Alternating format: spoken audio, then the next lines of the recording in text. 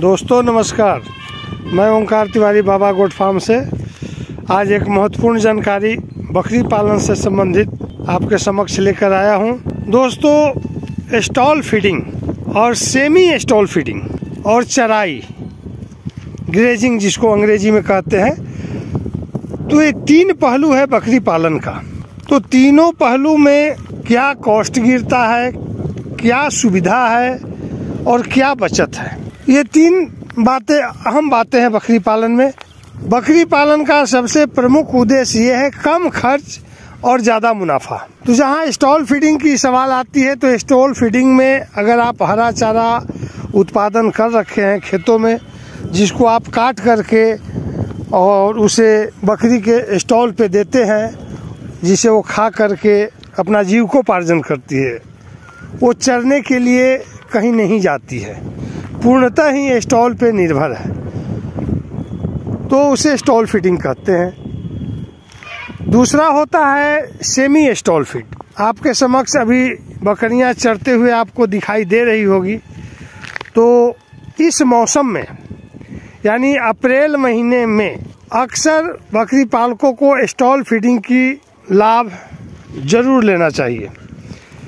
इसमें आपका कॉस्ट बिल्कुल ही ज़ीरो आ जाता है। नाम तो सेमी स्टॉल फ़ीड है, पर इसमें सेमी स्टॉल फ़ीड न कह के इसको अगर हम ग्रेजिंग ही कहें तो अति उत्तम होगा।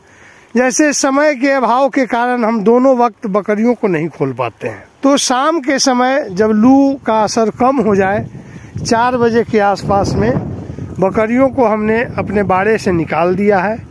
और आप देख ही रहे होंगे, बकरियाँ स्वतः अपने अपने धुन में ग्रेजिंग कर रही है। तो इसमें क्या ग्रेजिंग कर रही है? जबकि आपको खेत में कुछ भी दिखाई नहीं दे रहा है। पूरा गेहूँ का खेत है। तो भाइयों, आज के मौसम में जो गेहूँ की कटाई होती है, या हार्वेस्टर से हो, या लेबर से हो तो गेहूँ के जो बाल होते हैं, वो कुछ अवशेष खेतों में छूट जाते हैं, टूट के गिर जाते हैं। स्वाभाविक गुण है उनका, एकक बाल को धरती से चुन लेती है। जैसा कि आप देख रहे होंगे। देखिए, यहाँ कोई हरा चारा नहीं है। लेकिन ये बकरी जो है मूड़ी नीचे दबाए हुए है और गेहूँ के बाल को ढूंढ रही है। देख ही रहे होंगे। और एक एक बाल, यानी पूरा ही ये इनको अनाज मिल रहा है। जो हम गेहूँ, मक्का, बाजरा, जो खाने के लिए इनको देते हैं, वो स्वतः इनको खेतों में मिल रहा है। और ये समझिए कि अगर ये 100 ग्राम अनाज खाती है तो इसका बॉडी में वो 100 ग्राम नहीं, वो 200 ग्राम का फ़ायदा होता है। क्योंकि इनका दो दो काम चल रहा है। दाना भी मिल रहा है और इनका फुल एक्सरसाइज हो रहा है। झुंड के झुंड चल रही है बिचर रही है, दौड़ रही है, भाग रही है। मानो इनके चार चाँद लग गया हो इनके लाइफ में। तो दोस्तों ग्रेजिंग बहुत ही ज़रूरी है बकरियों के लिए। अक्सर वीडियो में कई आदमियों के द्वारा बताया जाता है कि अगर आप बकरियों को ग्रेजिंग नहीं करा सकते हैं तो उन्हें घंटा, दो घंटा इधर से उधर उधर से इधर दौड़ा दिया करे, भगा दिया करे, ताकि उनका एक्सरसाइज हो जाए। तो यहाँ एक्सरसाइज भी हो रहा है और इनका भोजन भी हो रहा है। और ये जो देख रहे हैं, आप कुछ बकरियाँ हरे चारा खा रही है, ये जिनोरा है। जो पिछले साल हमने लगाया था और धान के फ़सल को न लगा करके इसको ऐसे ही छोड़ दिया जो कि पुनः हरे चारे का रूप ले लिया है और बकरियाँ आराम से इसके फलियों को तोड़ तोड़ करके खा रही है, जैसा कि आप देख रहे हैं। तो दोस्तों ग्रेजिंग बहुत ही महत्वपूर्ण है। अगर आप बारह मास करवाते हैं, साल के बारह महीने तक आप ग्रेजिंग करवाते हैं तो ऑल दी बेस्ट नहीं तो इस मौसम में आप इसका पूरा लाभ उठाएँ। जैसे कि कॉस्ट इसलिए खर्च कम हो जाएगा कि जैसे ये हमारे पास अभी लगभग पचास बकरियाँ हैं तो इनको एक टाइम में बीस किलो भूसा देना पड़ता है। तो शाम के टाइम का जो बीस किलो भूसा है, वो तो मेरा बचत हो गया। कुछ चोकर देंगे, कुछ दाना देंगे, वो भी बचत हो गया। लेकिन जितना दाना और चोकर और भूसा हम इनको बाँध करके खिलाएँगे अगर उससे कम भी इस ग्रेजिंग के द्वारा इनको मिलेगा, उस दाना से मिलने वाले एनर्जी से ज़्यादा इसमें इनको एनर्जी मिलेगा। इसलिए कॉस्ट को कम करने का बकरी पालन में अभी हमारे पास ये चार महीने हैं, अप्रैल, मई, जून और जुलाई। इस चार महीने में ग्रेजिंग का पूरा लाभ उठाएँ और बकरियों का सेहत भी बढ़िया होगा।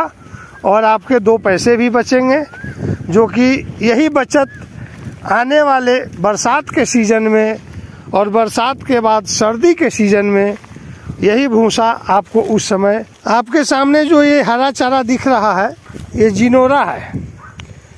पिछले साल हमने लगाया था और ये पुनः अपने आप ही स्वतः फूज गया है और इसको हम ग्रेजिंग करवा रहे हैं चला रहे हैं। और खास करके मई, जून, जुलाई और कुछ अगस्त, यानी हाफ़ अप्रैल से लेकर के हाफ़ अगस्त तक खेतों में कोई फ़सल नहीं होता है। और जो अप्रैल में गेहूँ की कटाई, मसूर की कटाई, सरसों की कटाई खेतों से हो जाती है तो उन खेतों में कुछ फ़सल के अवशेष रह जाते हैं। और अगर हम बकरियों को घंटे, दो घंटे के लिए खेतों में छोड़ देते हैं तो वो खेतों से गेहूँ के बाल को ही चुनती है, क्योंकि आजकल हरा चारा नहीं है। आप देख रहे होंगे, खेत पीले हैं, लाल हैं जहाँ तहाँ पगडंडियों पे हरी घास है। तो आखिर लाल खेत, पीले खेत जिसमें हरा चारा नाम का चीज़ ही नहीं है, वहाँ क्या खा रही है? सोचने की बात है? तो देखिए दोस्त, मैं आपको खेतों में दिखाता हूँ। ये देखिए ये देखिए गेहूँ के बाल। इस तरह से हर जगह, देखिए, यहाँ भी है, यहाँ भी है, यहाँ भी है। तो इस तरह से कदम दो कदम पे गेहूँ के बाल टूटे हुए हैं। उन्हीं टूटे बालों को ये एक एक करके चुनते जाती है और खाते जाती है। तो सेमी स्टॉल फ़ीड में जो हमें कुदरती तौर पे तीन महीने का मौका मिला है हाफ़ अप्रैल से लेकर के मई जून और हाफ़ जुलाई तक, अगर हम इनको ग्रेजिंग करवा देते हैं तो समझिए कि आपका तीन महीना में जो आपका खर्च था, वो ज़ीरो हो गया। और इतना ही नहीं, जो तीन महीना में आप इन्हें खिलाते, भूसा, चोकर, अनाज, कहीं उससे दुगना ग्रोथ इन तीन महीनों में इनका होगा। और ये ज़्यादा प्रफुल्लित होंगे, ज़्यादा वज़न बढ़ाएँगे। क्योंकि ग्रेजिंग तो है ही, साथ में फुल्ली एक्सरसाइज भी है। खुला वातावरण में हवा में कूदना, भागना, दौड़ना, इनका एक्सरसाइज भी हो रहा है और इनका दाना का पूर्ति भी हो रहा है। जैसा कि देख रहे हैं आप, देखिए, नज़दीक से देखिए। सभी बकरियाँ, गेहूँ के बाल, मसूर के बाल, सरसों, राई, जो भी खेतों में अवशेष है, उनको चुनने में लगे हुए और तीसरा पहलू होता है स्टॉल फ़ीड जो कि फुल्ली स्टॉल फ़ीड यानी कि जो भी खिलाना है स्टॉल पे ही खिलाना है इनके खाने के बर्तन में ही हमें देना है, दाना हो, चुन्नी हो, हरा चारा हो। हालाँकि बकरियाँ उसमें भी स्वस्थ रहती है, लेकिन जो ग्रोथ इनको चराई में है, जो ग्रोथ इनका सेमी स्टॉल फ़ीड में है, वो ग्रोथ स्टॉल फ़ीड पे नहीं है। तो दोस्तों, मौका मिला है, आप अपने फॉर्म में जो भी बकरी पालक भाई हैं घंटे, दो घंटे बकरियों को खुले खेतों में चरने के लिए ज़रूर छोड़े और इसका पूरा लाभ उठाए। एक कहावत भी सुनी होगी आपने, जिसने किया श्रम, उसके फूटे कर्म। जब बकरी पालन करते हैं लोग तो कई प्रकार के उन्हें बातें सुनने को मिलती है। और कुछ नहीं तो बकरी पालन कर लिया। क्या बकरी का धंधा करना है? ये कोई काम है? तो भैया, काम बड़ा या छोटा नहीं होता है। आपका दिल जो चाहे अगर आपका दिल पशुपालन में है तो आप इसे खुले दिल से स्वीकार करें और अच्छे से इसको अंजाम दें। बहुत फ़ायदे का व्यापार है, बहुत लाभ का व्यापार है और सबसे बड़ी बात, बहुत सुकून का व्यापार है। सुकून तो इतना मिलता है, जैसे सारे कामों का अंजाम एक जगह मिल जाता हो। संतोष मिलता है कि हमारे पीछे इतने जानवर आश्रित हैं। इंसान से तो बुरा कुछ है ही नहीं। सबका भक्षण करते हैं। इंसान को भूख लगता है, एक दूसरे को रोटी मांगते हैं। नहीं मिलने पर एक दूसरे को मार कर खा जाते हैं। लेकिन ये ये अनबोलता धन है। ये बोल नहीं सकता है। आप जैसे रखेंगे, वैसे रहेगा। और बहुत प्यार से रखने वाला जानवर है। अगर आपका इनसे तालमेल हो जाता है, आप दो बाँस की दूरी पर भी रहेंगे और आपका आवाज़ सुन लेगा तो ये आपके लिए चिल्लाना शुरू कर देगा। बहुत प्यारा जानवर है और बकरी पालन करने वाले ही इसे समझ सकते हैं, अन्यथा नहीं। तो दोस्तों, बकरी पालन इस बिंदु पर ध्यान दें और अपने बकरियों को घंटे दो घंटे ज़रूर चराएँ। इसमें इनको पूर्णता संतुलित आहार मिलने का 100 परसेंट चांस रहता है। जय हिंद।